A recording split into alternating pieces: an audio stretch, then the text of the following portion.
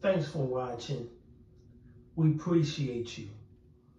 Please, please subscribe.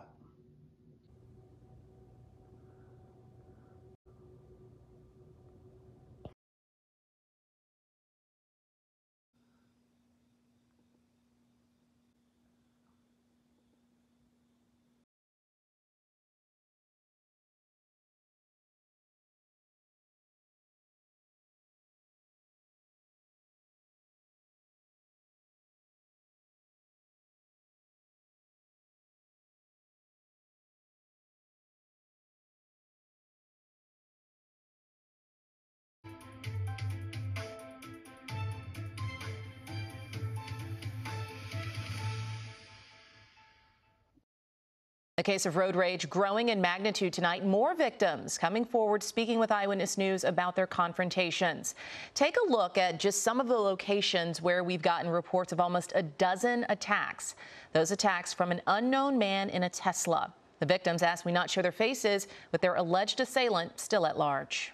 Same face, the same t-shirt, same description of him, it was him. Since our initial report Wednesday about an attack on the 2 freeway, a growing number of people have come forward saying they too were attacked by a mystery man in a gray Tesla. Tonight, the number now up to at least 10 known incidents. So who is he? And just how long has he been on this road rage rampage? Before I even realized it, he had jumped out of his vehicle swinging some sort of crowbar. This new victim in West Hollywood says she encountered the man last March and is still in therapy after the attack. He got out of his vehicle again, um, this time with a knife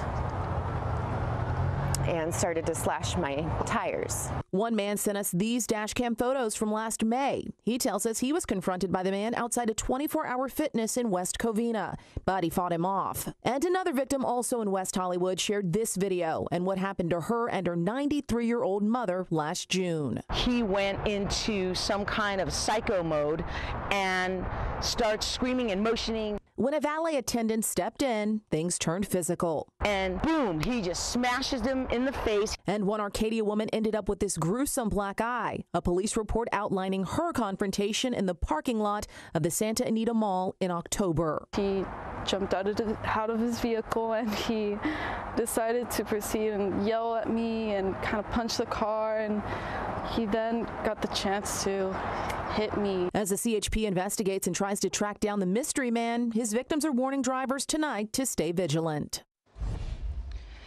We're going to go ahead now and, uh, well, here's a, here's a look, excuse me, at the Tesla driver. If you do have any information, the CHP is asking you give them a call.